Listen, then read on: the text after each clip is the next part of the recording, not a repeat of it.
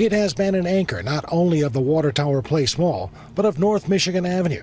Now, Crain's Chicago Business is reporting that Macy's, which started business here as Marshall Fields, is now thinking about leaving its Water Tower Place location. It's like it's not the same feel. There is no comment this afternoon from the department store chain, but Second Ward Alderman Brian Hopkins says he's not surprised. If in fact they are leaving at some point, it's a devastating loss. It's a blow to Water Tower Place. That's going to be a challenge for them to try and bring in a new tenant uh, and fill that space. After a second wave of violent looting early Monday morning, Macy's and other Michigan Avenue locations boarded up their windows and locked their doors. It's a terrible situation and uh, very upset about seeing this whole thing going on. It's kind of dangerous. It's like we don't have anywhere to shop anymore. There is a sense of unease among shoppers along the Magnificent Mile. Now the mayor says she has a plan, along with the police department and the state's attorney, to crack down on looters.